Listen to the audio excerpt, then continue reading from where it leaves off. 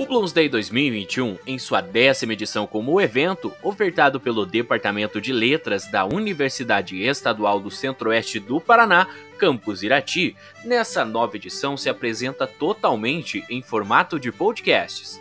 Para conhecer o significado do primeiro feriado mundial dedicado à literatura, curtam e aproveite esse material do Bloomsday com os nossos ilustres convidados.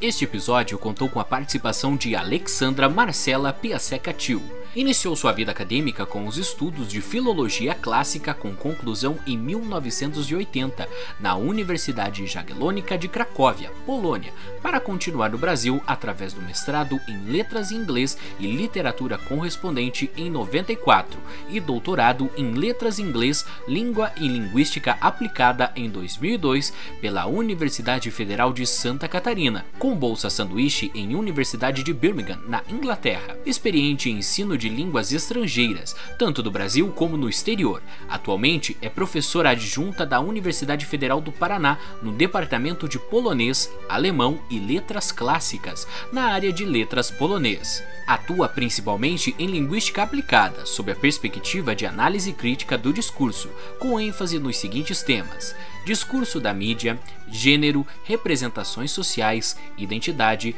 interculturalidade, plurilinguismo, tradução, ensino de línguas estrangeiras, competências, formação e prática reflexiva na docência, assim como a internacionalização do e no ensino superior.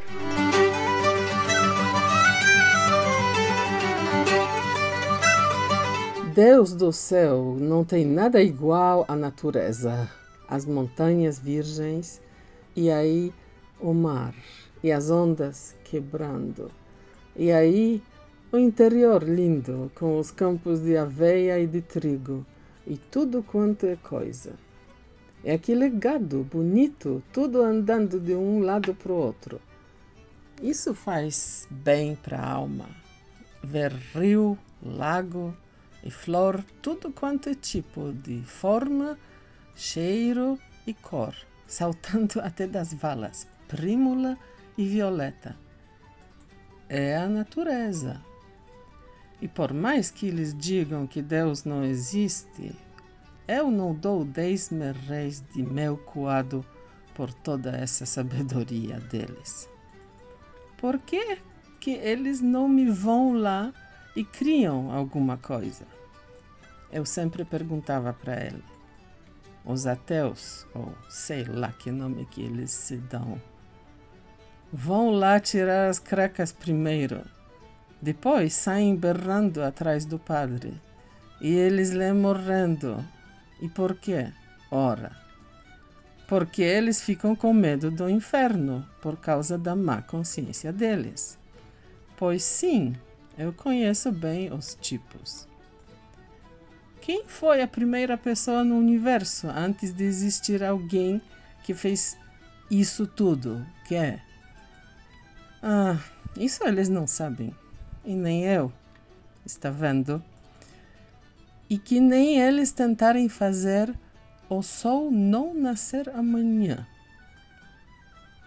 O sol brilha por você, ele disse, no dia que a gente estava deitado no meio dos rododendros no Morro House, com o terno cinza de tweed e o chapéu de palha no dia que eu fiz ele me pedir em casamento. Sim. Primeiro eu dei para ele um pouquinho do pão de gergelim que estava na minha boca. E era ano bissexto, que nem agora. 16 anos atrás. Meu Deus, depois daquele beijo comprido, eu quase perdi o fôlego. Sim, ele disse que eu era uma flor da montanha. Sim, e a gente é flor mesmo. Nós todas. O corpo de uma mulher. Sim, tá aí uma verdade que ele disse na vida. E o sol brilha por você hoje? Sim. foi por isso que eu gostei dele, porque eu vi que ele entendia ou sentia o que uma mulher é.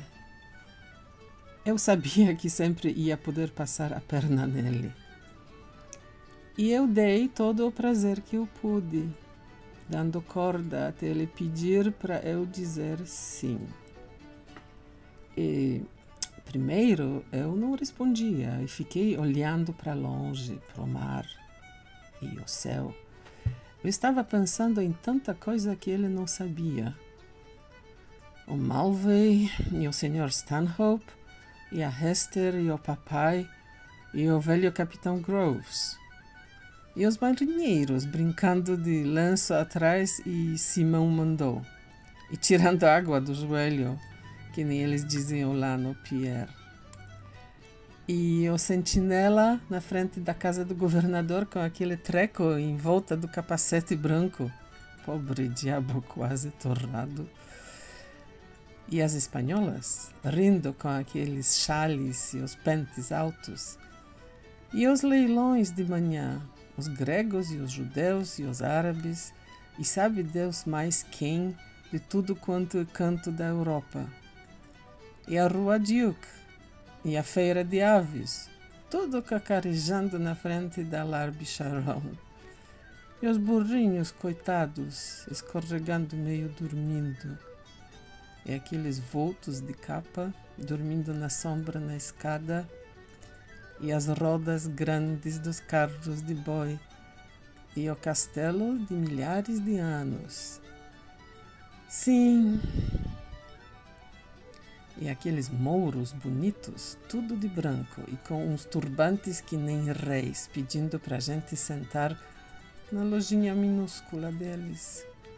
E ronda com as janelas velhas das poçadas uns olhos de relance, uma gelosia escondida para o amante dela beijar o ferro.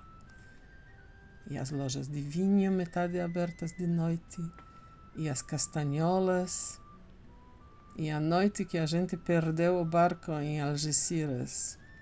O vigia de um lado para o outro, tranquilo com o lampião. E, ah, terrível torrente profunda. Ah, e o mar, o mar carmim às vezes, que nem fogo. E aqueles poentes deslumbrantes. E as figueiras nos jardins de Alameda, sim.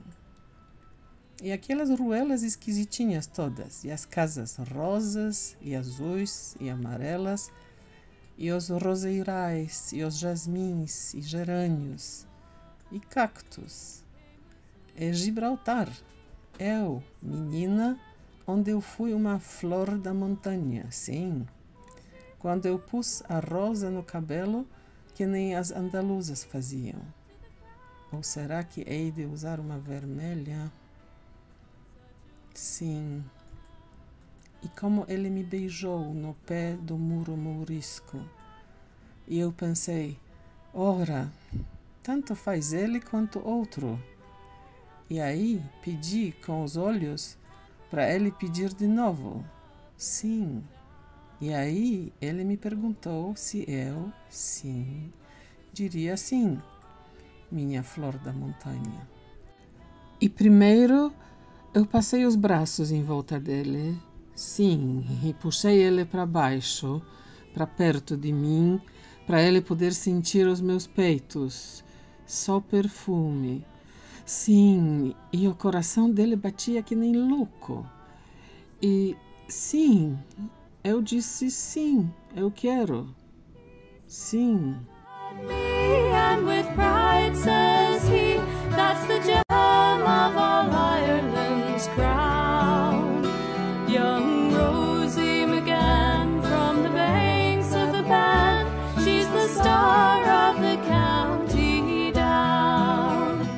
Boże na niebie nie ma nic jak natura.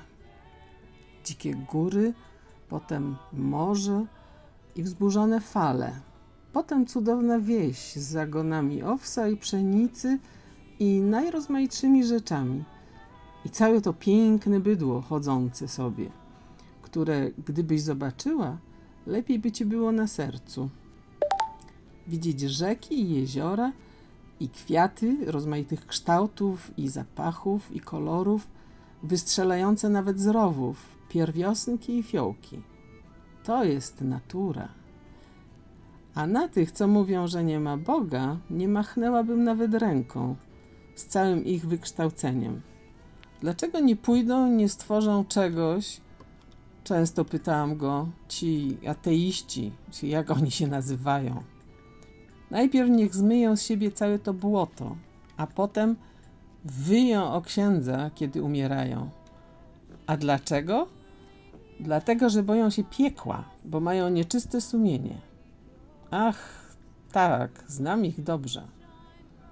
Kto był pierwszą osobą we wszechświecie, zanim był ktoś, kto zrobił to wszystko? Kto? Ach, tego oni nie wiedzą. Ani ja nie wiem, więc widzisz, jak to jest. Równie dobrze mogliby chcieć powstrzymać jutro rano słońce od wzejścia. Słońce świeci dla ciebie, powiedział tego dnia, kiedy leżeliśmy pomiędzy rododendronami na szczycie Howth. Był w szarym tweedowym ubraniu i w słomkowym kapeluszu tego dnia, kiedy doprowadziłam go do tego, że mi się oświadczył. Tak. Najpierw wyjęłam sobie z ust kawałek ciastka z kminkiem, dałam mu i był to rok przestępny, taki jak teraz. Szesnaście lat temu. Mój Boże, po tym długim pocałunku prawie nie mogłam oddychać. Tak. Powiedział, że jestem kwiatem górskim.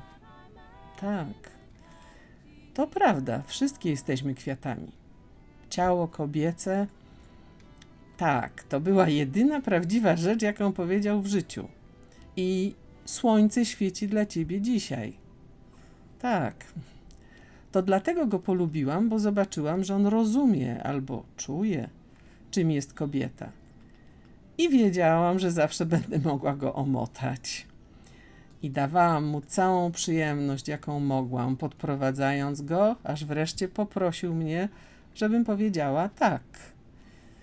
I nie chciałam najpierw odpowiedzieć, tylko patrzyłam na morze i na niebo i myślałam o tylu rzeczach, o których on nie wiedział.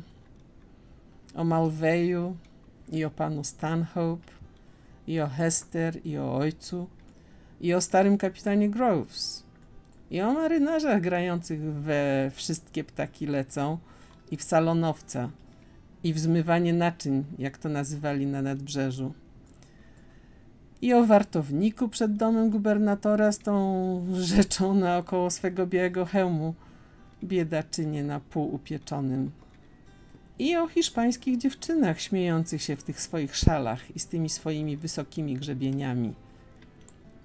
I o porannych wyprzedażach z Grekami i Żydami i Arabami i sam diabeł wie jeszcze z kim ze wszystkich krańców Europy.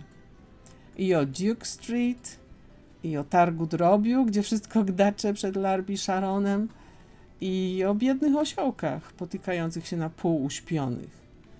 I o tych niewyraźnych facetach w opończach śpiących w cieniu na stopniach, i o wielkich kołach tych woz, wózków, i o bykach, i o starym zamku mającym tysiące lat.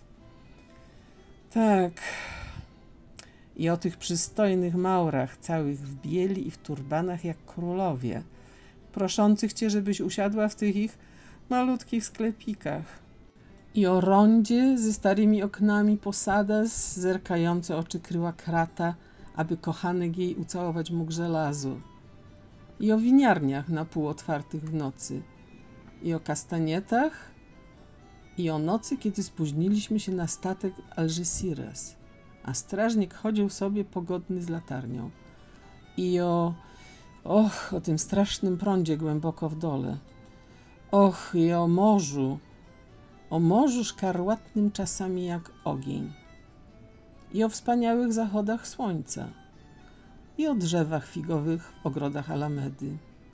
Tak, i o tych wszystkich dziwnych uliczkach, i różowych, i niebieskich, i żółtych domach, i o ogrodach różanych, i o jaśminie, i o pelargoniach, i o kaktusach. I o Gibraltarze, gdzie jako dziewczyna byłam kwiatem górskim. Tak. Kiedy wpięłam róże we włosy, jak to robiły andaluzyjskie dziewczyny, a może lepiej mieć czerwoną? Tak. I o tym, jak całował mnie pod mauretańskim murem. I pomyślałam, cóż, może być tak samo dobrze on, jak inny.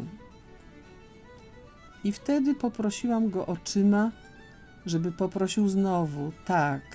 A wtedy on poprosił mnie, czy ja tak, powiem tak, mój kwiecie górski.